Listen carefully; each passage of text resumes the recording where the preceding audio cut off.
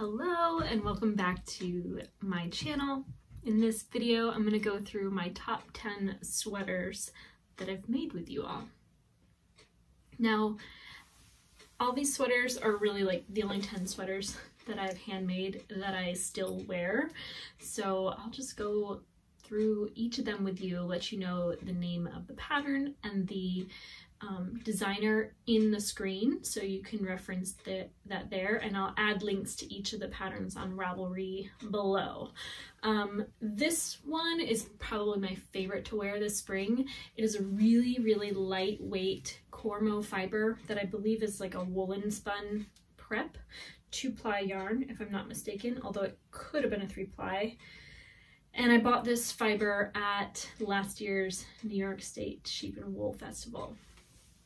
Uh, this pattern is, I, I, knit it a little bit cropped, a little shorter than the pattern recommended, and I made the sleeves nice and long. So um, as long as I continue to wear this, it'll still be a full length sleeve as my elbows tend to shrink up my sleeves. But this sweater I like to just kind of push up and wear around the house like this. I'm going to model all of my sweaters in a dress, although I don't wear all of my sweaters with dresses, but a lot of my springtime wardrobe fits best over dresses or skirts. So this is probably my favorite sweater to wear right around now, um, but I'll share a little bit of details about each of the sweaters as I try them on. They will not be shown in any particular order if that's um, needs to be explained. So love this sweater, one of my most recent makes. Another cropped sweater, super cropped sweater, um, is the Ranunculus. And I made this with Quince & Company's Piper yarn, which is a single ply um, merino mohair blend. So it's a little fuzzy. It's fuzzier now more than ever. And it kind of has like a faux fur look to it the more that it's worn. This yarn has completely felted in the armpits, um, which probably makes it more stable of a fabric, um, but does shrink up the length a little bit even more. So um, definitely don't wear this top without a dress beneath it because that's pretty much all it's good for. The sleeves too, I just blocked this and so the sleeves are kind of how they looked when I finished making the sweater and I kind of regret not making them just a tad bit longer. But to be honest with you, once this garment has been on the body for a few hours, the sleeves shrink up to like elbow height. It is totally bizarre. Um, I do have probably 60 to 70 grams of this yarn left, and I don't know quite what I'm going to do with it, but maybe, uh, maybe I'll make Shippy a sweater. Um, I do love this garment. It's really, really soft. Um, it feels nice and kind of feminine and a little delicate, which is not something I, I have a lot of in my wardrobe. Um, and it was just a really nice, fun sweater to make. It was rather quick. Um, the sleeves felt like they were taking forever compared to the body, but I like the lace detail. Uh, I did have short rows built into the pattern, which I enjoyed a lot and you know I like it when I don't have to figure out my own short rows. And um, yeah it's um it doesn't sit too much um, higher in the front as the back. So you know just I feel like it drapes over the body well even though it is that very wide um, kind of I want to say width but lots of ease lots of ease. So Anyway, this is uh, another top spring sweater in my wardrobe. My next sweater is a cardigan. It is designed by Kate Davies and I love the very retro look of it. I don't normally wear this sweater with this dress. I typically pair it with a pair of jeans, um, something like that. And I typically wear this sweater in the fall or winter months because it is a little toothy in the fiber content. It's a woolen spun yarn that's not of a fine, fine fiber. So really like this, um, nice and casual. Now, one of the five colors in the last sweater that I made was hand spun. Um, but this sweater is 100% hand spun. Um, just half of it is mine and half of it is someone else's. Um, the top yarn here is Kashgora yarn. It is so, so, so soft. Um, definitely would make another garment with this yarn. Uh, and then the bottom is my own hand spun. And it's, um, I want to say that they're both Cormo fiber, but a nice long staple fine wool. And I really love this garment. Um, it kind of fit it fits really wide on the shoulders. Can you see how far this goes? I think that's one reason really why I don't wear it all that often. Um, I would probably pair it with this top, with this skirt. Um, although I do wear this, I think, a lot more with jeans. Um, this garment does have in the back, you might see like a very stark line where the color changes, where I didn't alternate skeins um, because I just didn't think to, to be honest with you. And so I just make sure to wear that side on the back because this pattern is like absolutely the same front and back. Um, and I wish I had maybe drawn the, the neck in a little extra, but I don't know if that would have caused it to hang differently or not. Um, and I did knit this garment before the pattern update came out, so my gauge is probably a little off compared to what it should have measured up to. So I really like this. Um, I don't really wear it enough. I should probably try wearing it more. I think now is probably the perfect time of year because June, July, August, it's going to be way too hot to wear anything like wool um, over the, kind of the armpit area. Otherwise, I'm just asking for it to felt. Um, I would say that this armpit has felted a little bit. That's something that tends to happen a lot in my garments. I don't know about you, um, but I'm trying to make things a little further from the pit um, or a little bit bigger in size so that the armpit doesn't change over time in its shape and size. This is a sweater I'm super proud of, um, not just because I spun it from a fleece, uh, but also because it's the first cable sweater I've ever made and the first piece sweater that I've ever made. This is by Nora Gaughan. It was published in um, one of the Pom Pom magazines and it has these beautiful puff sleeves. Um, my hand spun kind of came out a little thinner in the yarn that I used for the sleeves, so um, I do plan to make this garment again. I love it so much with just a different yarn, different color, something that I can wear just as much as this one. Um, and I think that the sleeves might be a little puffier if the yarn were as thick as the body. So we'll see about that. These arm sleeves are nice and long. Um, the sweater kind of it wears sort of like iron. It is pilling a little bit, but it's very sturdy yarn, I want to say. And um, it still, it still kind of smells like a fleece. Not like sheepy smell, but just like lanolin. It smells like lanolin is what this, the sweater smells so much like lanolin, I can hardly wear it. This sweater is the last of my hand spun um, sweaters that I've made so far. It is a Kate Davies design, really ingenious. It's made from the bottom up, and I intentionally um, chose my colors in a way that it's kind of patterned and organized, but also appearing random. Um, I wanted it to look kind of like a, a stone with layers of color, um, something kind of geological but uh, I really like this sweater. It's nice and light. I think it pairs really well with dresses and skirts like this one with a more empire waist.